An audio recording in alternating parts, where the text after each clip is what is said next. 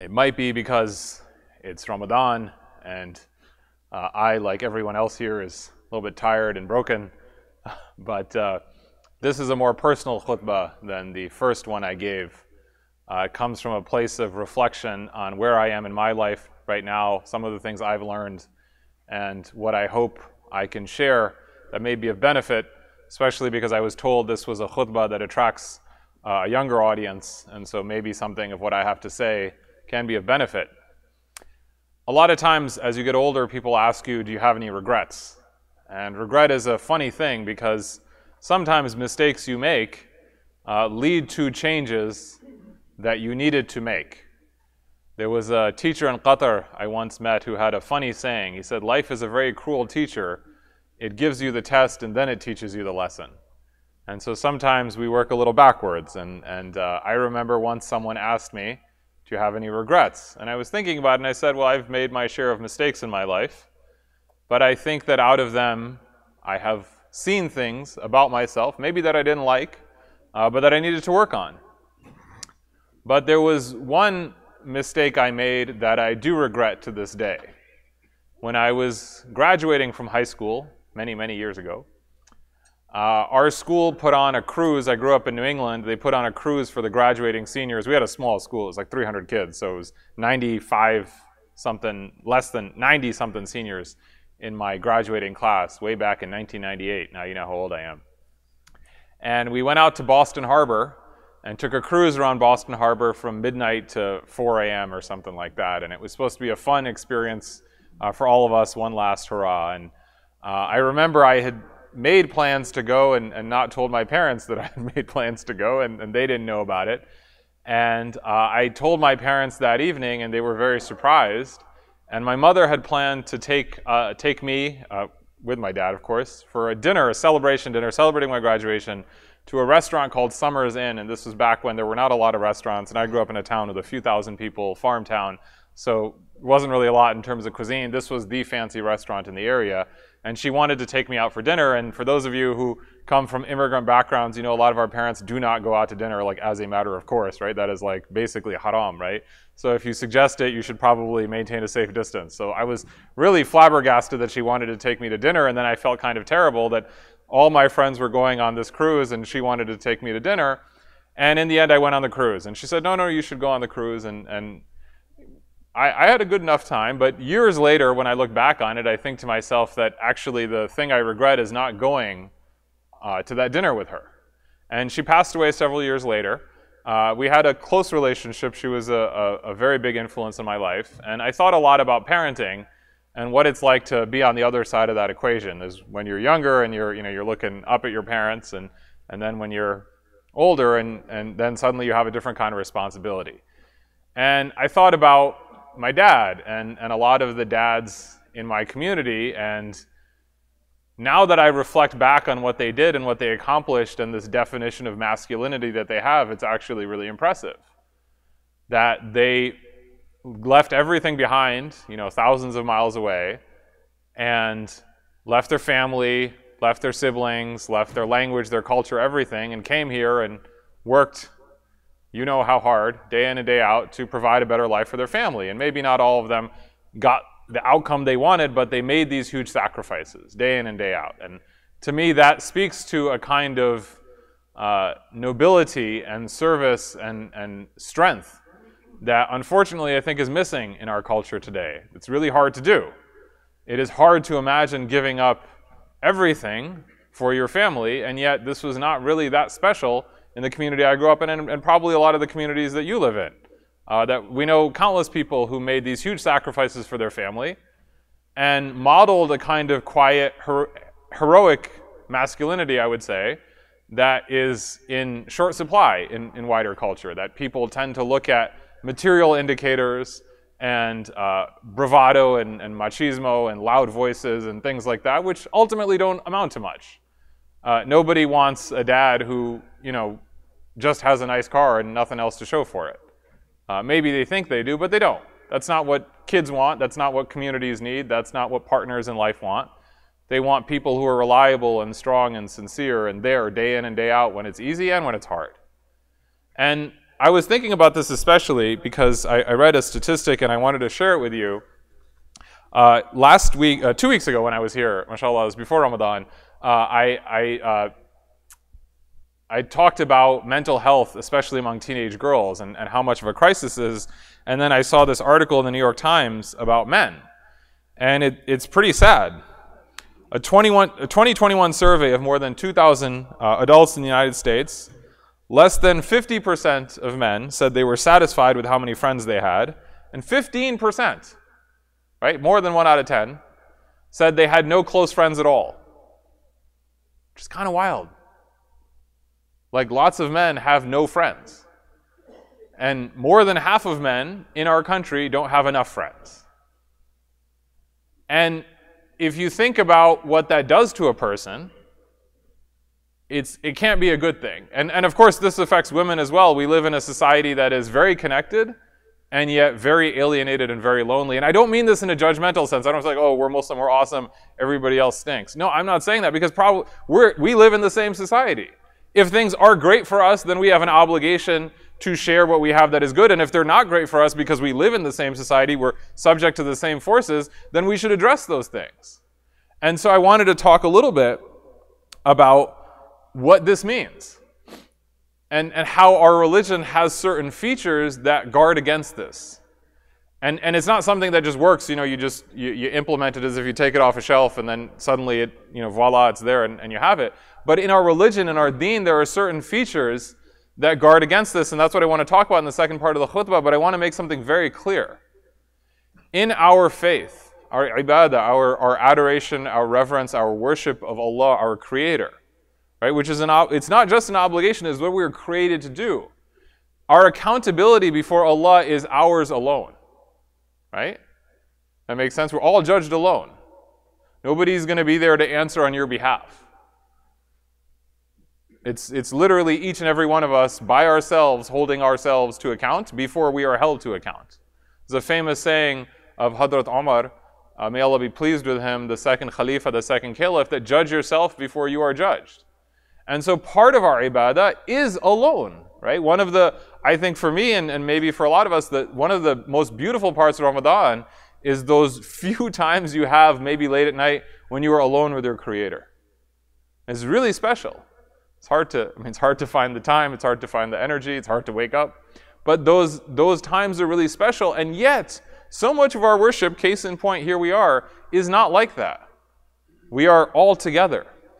And I wanted to talk in the second part of the khutbah about why that is, and what that has to do, not just for men, but, but specifically for men, but, but for all Muslims generally, and why that's important not only to our spiritual, psychological, uh, uh, emotional, and physical well being, but also our sense of purpose as Muslims. أقول ما تسمعون واستغفر الله لي ولكم ولسائر المسلمين من كل ذنب فاستغفره إنه هو الغفور الرحيم. uh, I say what you hear. I ask forgiveness for myself, for you, and for all those who believe. Seek forgiveness from Allah, for He loves to forgive and forgives most often.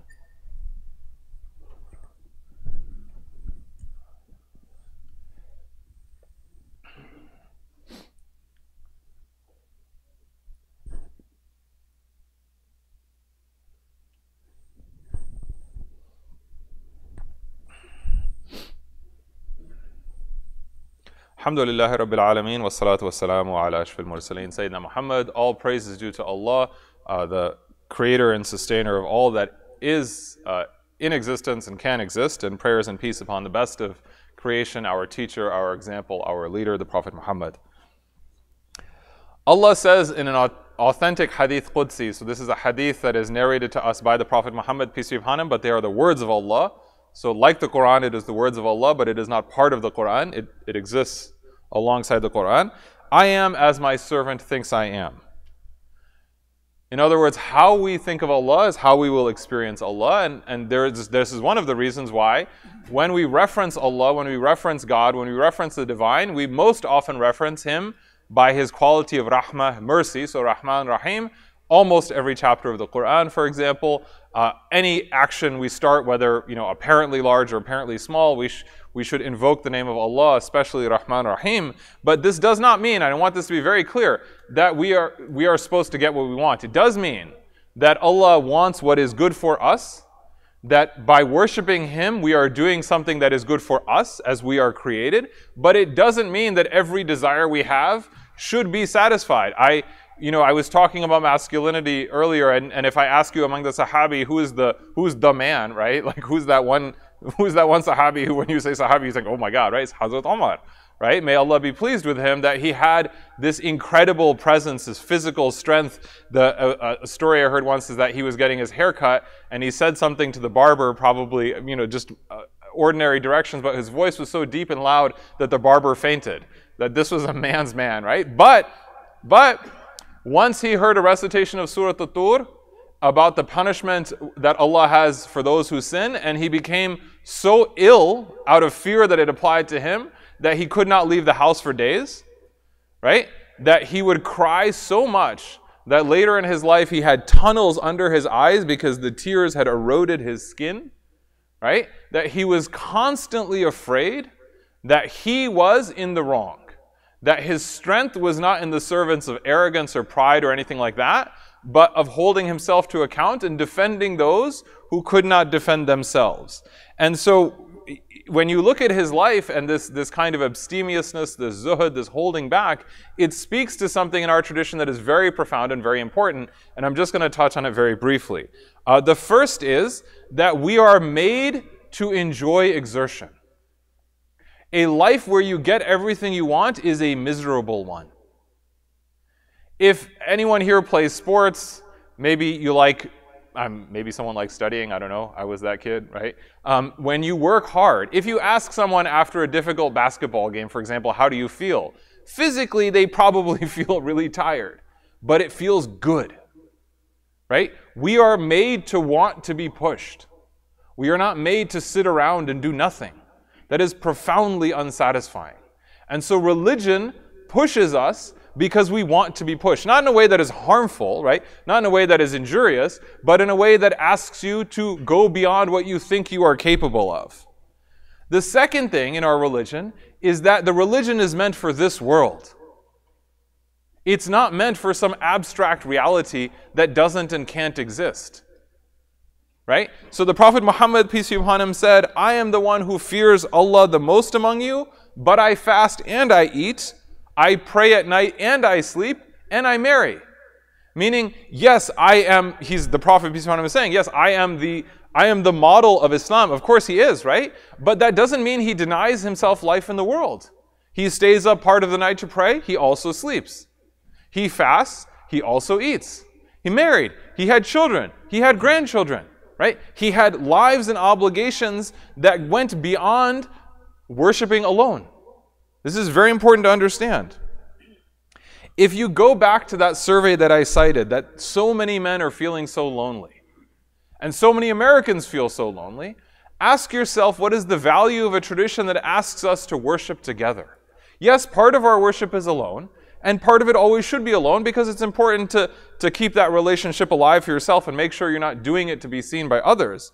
But we have to live in and be part of the world. Yesterday I was here for Taraweeh, and it's very similar to the masjid I, I go to in Cincinnati. You're praying Taraweeh, and there's like 45,000 children running around at all times, right? They're colliding into you. There's occasionally I've seen a football fly in the air, right? Nobody knows what's happening, right? MashaAllah. And sometimes I've heard a few people say, oh, this is inappropriate, it's disrespectful of the masjid.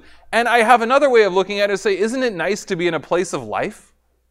Would you rather your kids didn't come to the masjid? Would you like to go to a house of worship that is basically full of no one except older people? That has no continuity or hope for the future? And actually, it teaches us how to live a life of piety in the world, right? It's very easy to have a focused prayer if you're sitting in your room by yourself late at night. But if you've got sound, someone doesn't realize they've got their like adhan ringtone going off in the middle of prayer, some kids are running around, you're wondering, is that my kid, right? Like these are constant things that are coming at you. That's what Allah is asking us to live a life of faith in the world. Can you remember Allah when you're tired, when you're hungry, when you're tempted by something? It is easy to be pious if there are no challenges. And so we come together over and over again with all our messiness and complexity to see what it's like to live faith in the world right? I prayed Jummah a few weeks ago, and mashallah, the brother next to me, he brought his baby in the car seat. Baby was really cute. It was kind of hard to focus on the khutbah because the baby was really cute, right? Baby was just having a great time talking to himself the whole, like the entirety of the khutbah, right? He's just being a baby. And I thought about it. The Prophet Muhammad, peace be upon him, we have narrations that in his sajda, his grandchildren, his Hassan and Hussein, may Allah be pleased with them and elevate them in the next life, they would climb on his back and he would stay in sajda until they were done. Which meant even when he's worshiping Allah, he has awareness of who is around him. Because that's the challenge of life of faith. And the second thing is, and, and this is for men especially, and we have all these debates on nature and nurture. I'm not interested in getting into them. I don't even know if you can answer them. But, you know, we I, would often hear these questions why are men pushed to pray in the masjid and not women? And sometimes men, we give very self serving you know, sometimes maybe even misogynistic explanations. But maybe what if it's the opposite? Maybe we're just really bad at socializing, right? Like we don't know what's good for us. So Allah is saying, no, I'm going to force you to go to the masjid and force you to see other people and force you to talk to other people and force you to stand shoulder to shoulder, foot to foot, to be in community with each other. Imagine, I mean, you know, we hear these stories of Omar and Abu Bakr, may Allah be pleased with them, and all these companions. They must have seen each other thousands of times in their lives at like every salah. Right? Imagine, you, we talk about a society that's lonely. Imagine if you, I mean, obviously it's hard. We don't live in the same kind of society where everything's on a, a human, smaller scale. But even if you went to the masjid a few times a week for prayer, and you see the same people over and over again, you have a sense of nourishment. That part of you is nourished, even as you are worshiping Allah. And why not? Because Allah wants what is good for us. Right? He's not going to ask us to do things that ultimately harm us. And so you see someone and you realize, hey, I haven't seen so and so in a few weeks. Let me check in and see if he's okay. Or so and so looks a little down today or looks a little different. Is he sick? Is he maybe he's happy about something and wants to share something good. So the challenge I have to you and especially the young men here is try to make worship together part of your daily, weekly, monthly routine. Everyone has their own challenges and limitations. Even if you can come outside of Jummah, of course you have to come for Jummah. If you can come to the masjid once a week for a prayer, and bring a group of people with you friends, colleagues, what have you. I mean, probably they should be Muslim, otherwise it might be a little strange if you just bring them to the masjid. But the point is, have this community together and then check in without your phones, right? You don't need your phones. You need human contact, right? We didn't evolve to look at a screen, we evolved to look at each other, right? This is how Allah created us, right? So be in community with each other, have these these experiences together and push and encourage each other because this is something we need. Allah, out of His wisdom, has given us a religion that emphasizes worshiping together because it is a form of strength. It is, it is not easy, and I want to end with that. It is not always easy, it is not going to be easy, but here's the thing. What is on the other side of the effort is beautiful and necessary, but the way Allah has created us, the effort itself is necessary we find meaning in pushing ourselves. We find meaning in pushing ourselves together. So make that part of your faith, make that part of your experience of faith, and make that part of a sense of community that you have. Because this is what it means to be a Muslim, to live faith in the world. We do not have monasticism. We do not have anyone who disappeared from the world in order to be closer to Allah. The Prophet Muhammad, peace be upon him, went to Jerusalem and from Jerusalem ascended to heaven and stood in the presence of the divine closer than any creation had ever been and is ever allowed to, and then he came back. He came back to finish the work. That's what we do. We have our moments where we have that closeness, and then we go back into the world. That closeness carries us and strengthens us, and then we look forward to the next opportunity.